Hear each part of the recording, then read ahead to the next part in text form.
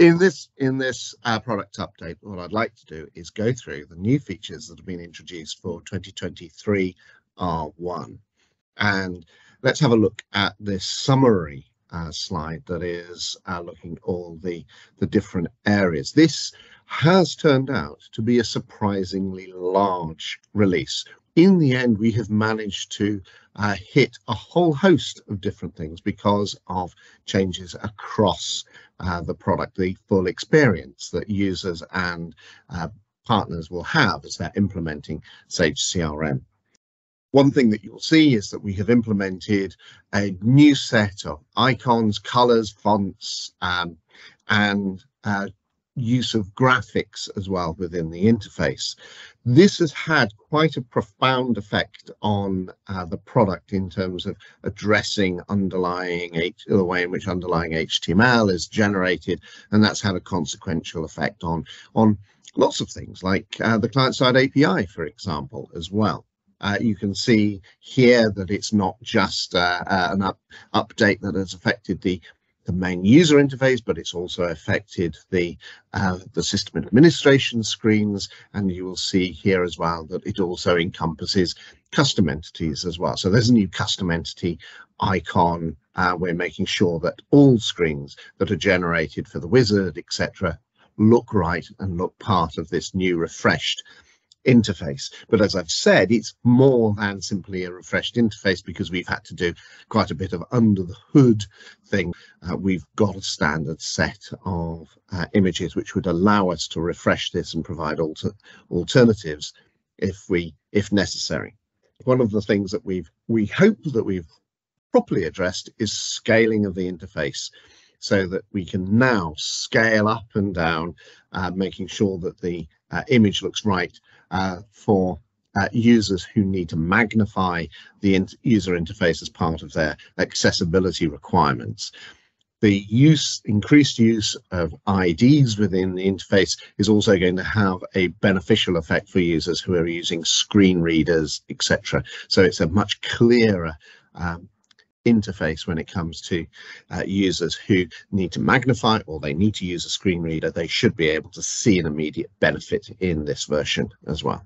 What we've got uh, as well uh, is uh, an increased ability to to look at this interface and say, well, I don't particularly like that. And we want to be able to swap out and replace it with our own interface. Uh, so we've we've updated and made it easier to be able to override uh, the use of um, the logon screen to be able to make changes as well uh, to uh, the, the the style guide theme. Now you still have the ability to come completely create your own theme and allow the swapping in and out of an alternative theme. But this is where you want to be able to take the existing theme and to be able to overwrite it. And we've extended it into the, the logon experience and the use of icons within that screen for branding purposes uh, for customers. So that ability to override, you can see this is uh, continued here. Uh, on the left is the 2023 R1 brand uh, look, and you can see that I've made some subtle changes uh, in the right hand screen, uh, making use of drop shadows, etc., uh, at different color schemes as well to be able to provide uh, a, a set of um, updates which might be more suitable for a particular customer. Um, we've provided as well, along with the resources, there are there's an there's you can download and have a look at what we've done with the sample theme overrides. So if you want to uh, use those, they're they're linked to on blog articles that are on Sage City. If we continue the sense of uh, what has happened from the user perspective, the big change as far as the user experience is concerned is a feature that we've added in inside uh, CRM, which is our first excursion into the use of deterministic AI to be able to uh, generate a set of summary information. The use of deterministic AI is important because we are not generating plausible information. We're not looking at uh, in where you're we're relying on a generative AI to perhaps fill in gaps. We're looking at exact information so you can have a predictable if the same if the data is the same at the beginning, you know what the outcome is going to be. So we've used rules engine to be able to provide a summary which is absolutely trustworthy for our customers.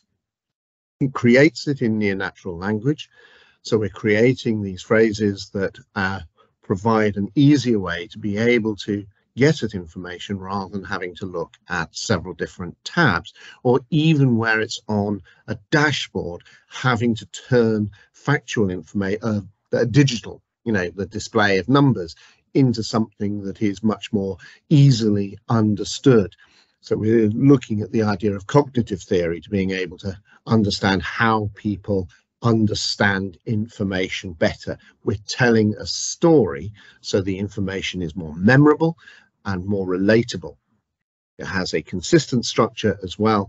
And we've already started work on narrative 2.0 as well to take this still further, uh, where we can start to bring in some of the requests that people have made in terms of improving its customizability. Let's have a look at uh, the uh, next element, and this is to do with the uh, where we have merged a document and we want to be able to access a document uh, in the library and to be able to change it and then re-upload it. This was a feature that we had lost the ability to do when uh, we had started to remove the active X plugins associated with this uh, library access and, and uh, the editing of documents. We've brought this back now. Uh, we're using a different mechanism to allow for the browsers independent of version to be able to access a document in the library, download it for the user to be able to open that within a tool, whether it is Word or whether it's Excel or whether it's PowerPoint, make changes save it and then reload back into the library. So we've extended it isn't just say uh, the editing of a Word document now, it's any document within the library can be edited and reloaded back in here. And that could extend to if you're using for planning purposes, something like a Visio diagram or etc. Uh, if you wanted to uh, include that. You can see this is the merge process that we would go through. There's the merge. Uh, let's go and continue that button. And then you see that after you've continued the merge, you've got the ability to uh, view or edit the file, or you can see there you can edit the, uh, after you've viewed and edit the file, you'll be able to save it again and pass it back up. So view and edit the file we have, let's assume that we have edited our file. So what we're going to do is we're going to find that file again, we're going to select it and then re-edit it, reload it back into CRM. And so it's it's changed, it's it's dropped in there, you choose upload file and continue, and then that's passed back into uh, the the screen. So if it's well could be that you complete the communication and just save that. The same thing happens if you're looking at a lib a document within the library. So here you're looking at a slide which contains uh, the which is presenting the the document that is already in the library, perhaps uploaded, where you can find it and again uh, be able to view and edit it and then re-upload it once more. The upload of, we've changed the way in which we guard the security of files to prevent malicious files being saved into CRM. You can see that we have now adopted the concept of a whitelist so that you actually have to uh, indicate which type of files are allowed to be uploaded. And we've got a further check which says allow whether or not you allow executable files to be uploaded as well within this. And what this will be doing is that that check will look at the the header of the file to make sure what true type it is so that you've not gone and say uh, taken an exe file and renamed it as a docx file.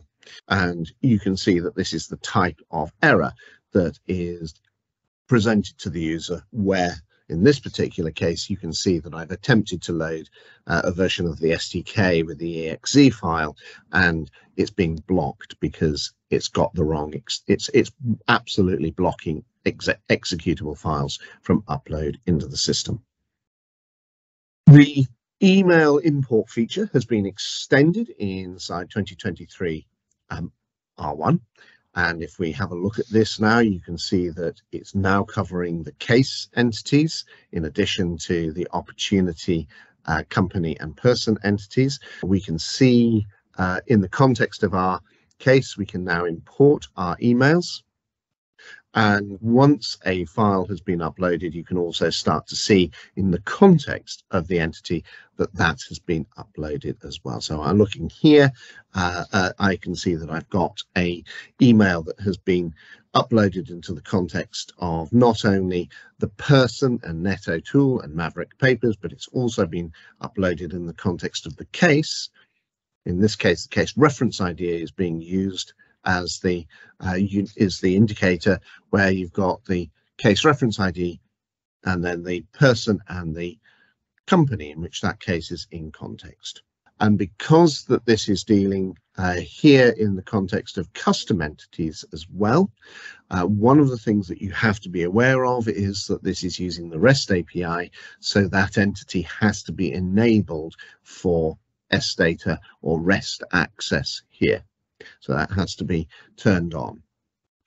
Here you can see that we're looking at a custom entity again and just demonstrating that the import emails sits in this uh, this screen.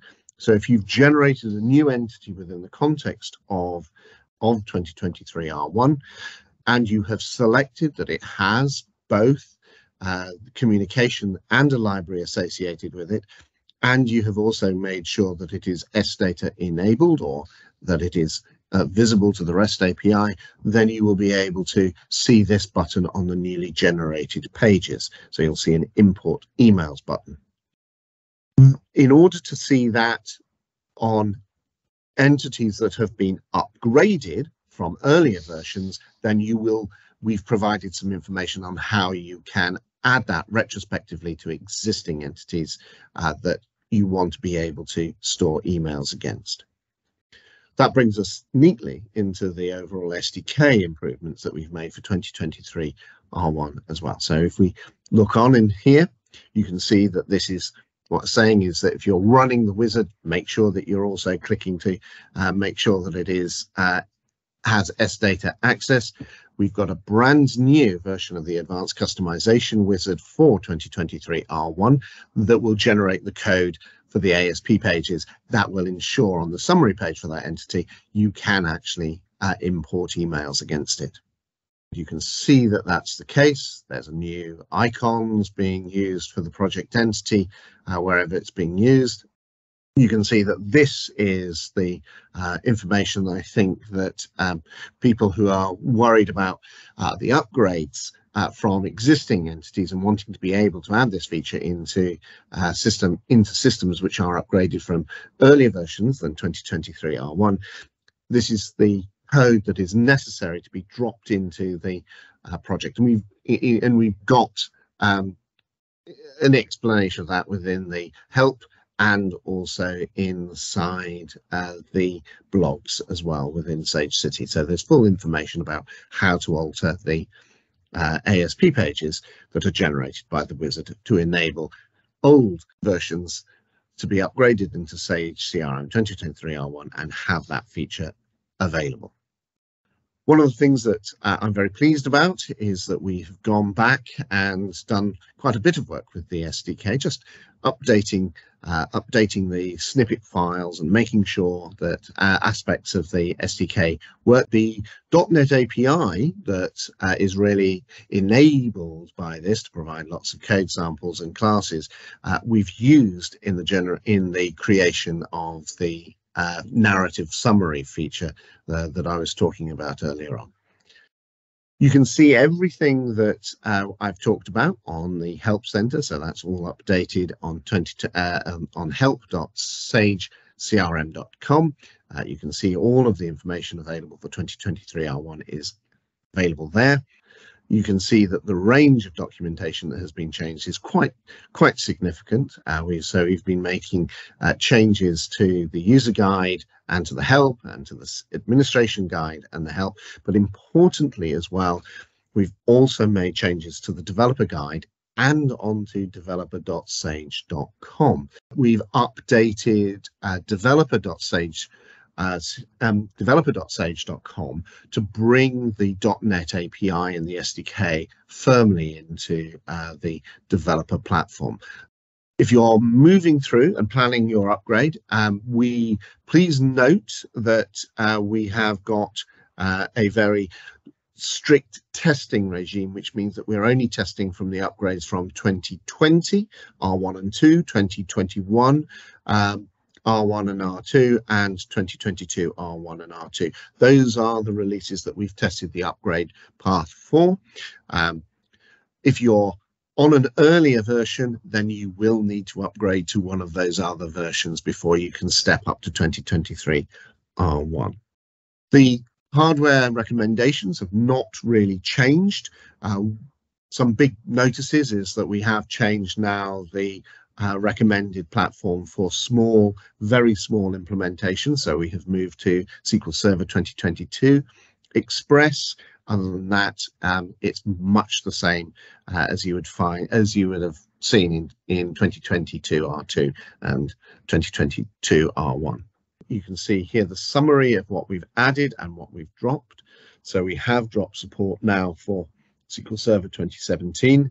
It won't stop working. It just means you didn't do any testing on that version. Uh, and that means we cannot support it. Uh, and we've removed 2019 from the installation package. If you're doing long tail upgrades, this is these are the steps that you would need to go through if you have got um, a long tail upgrade going from 7.1 to either uh, SP1, uh, 7.1, SP1, then on to 7.3, SP3, then on to 2017 R3, and then you can get to 20, and then you can get up to 2023 R1.